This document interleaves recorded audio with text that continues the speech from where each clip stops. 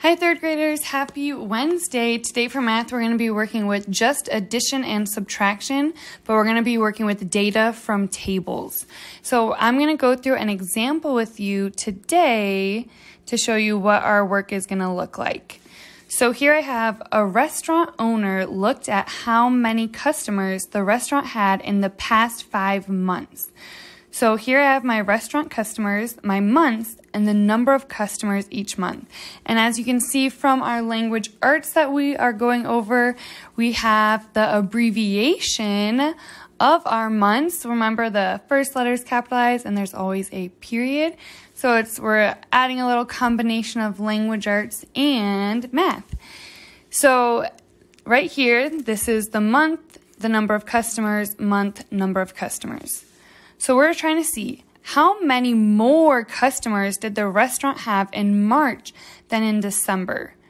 So we have to think are we going to be using addition or subtraction? So if they're asking for the total amount of customers, then we would use addition. But they want to know how many more came than one month. So that means we're going to use subtraction. So when we use addition, it's mainly going to be if they're asking for the total numbers, we're adding something together. But here, they're asking the difference. So we're going to use subtraction. So how many more customers did the restaurant have in March than in December? So I'm going to come here. Here is March. Here is December. So they want to know here they had a lot of customers come. So how many more came here this month than this month?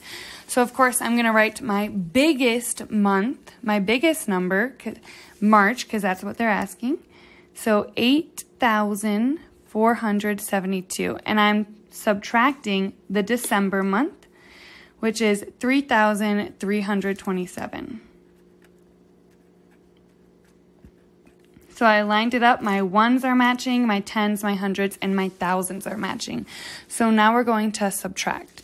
So if I have two up top and I want to take away seven, I can't take seven away from two. I don't have enough fingers, so I have to, you guessed it, borrow. So I'm taking one from the 10. So if I take one from seven, turns into six, and this turns into 12.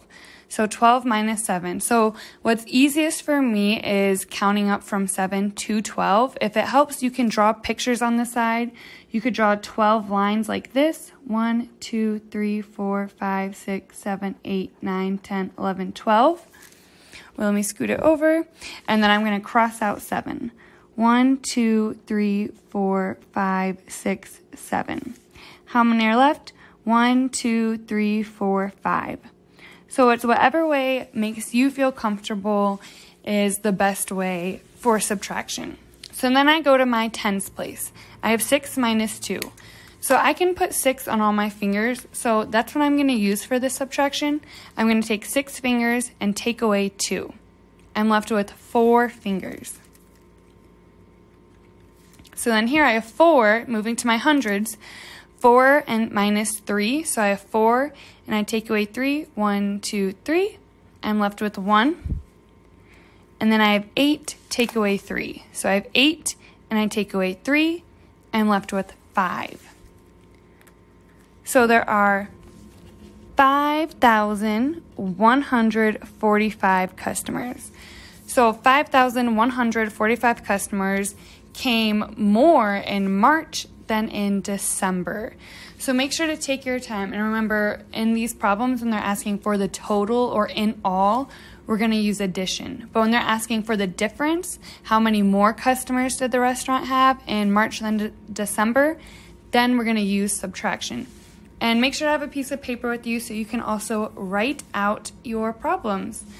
All right, have a great day and I will see you tomorrow. Bye, third grade.